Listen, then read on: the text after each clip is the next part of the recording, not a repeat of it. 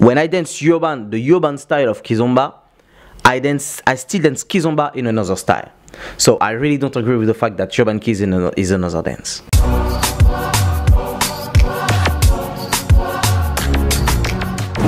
Right, and to add another question, um, what do you want to say to people that think urban kiz or that believe that urban kiz is another dance? All right. Uh, one more time. I have done, I've done some videos about it. Uh, I've done some things wrong and some things also good. So now I have, I have a little bit of experience about this subject. And before to talk, I would like to say, take it easy. What I want to say is more positive. It's not to influence people to think like me. It's just my way to think. So, like I, I said just before, for me, Kizomba is a dance and you have several styles and urban kiz is one of those styles. You are in the kizomba world and in kizomba world you have several styles.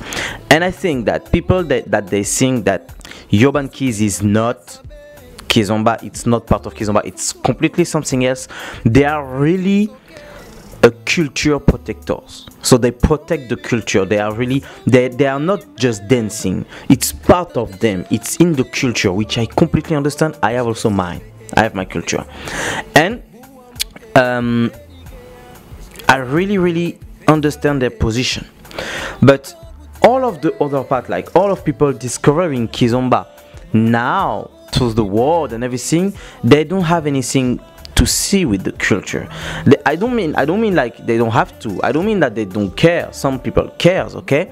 But they they don't they see the dance. They don't see the culture. So the one from the culture parts should be aware of of course that person they don't that don't see uh, the culture like me. You understand? That's normal. So because urban kiz doesn't have anything with the culture of kizomba. It's completely out of the culture of kizomba.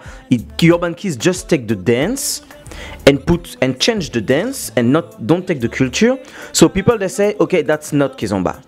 But the real meaning i think that's not part of the culture of kizomba which is true it's just taking the execution of the of the dance outside of the culture changing the execution. So i completely understand that it's a need to call it another name okay? I completely understand.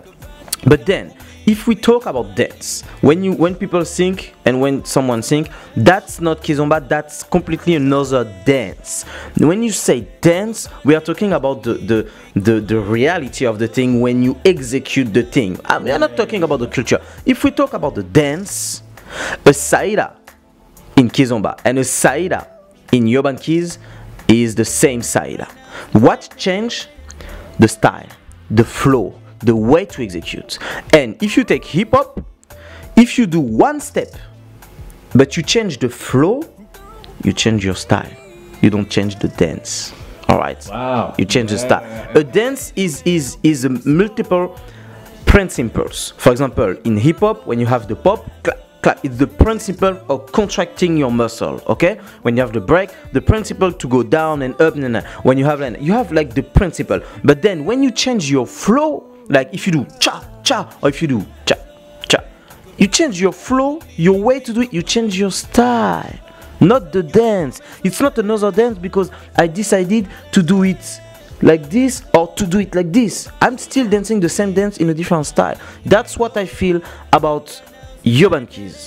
It's a style which I agree, which I completely I agree. So I really like when there were no names, people were struggling. That's not Kizomba. Now people they say that's urban okay. But the only point which I disagree is that it's a complete other dance. Hey, nicely said. Nicely deep information.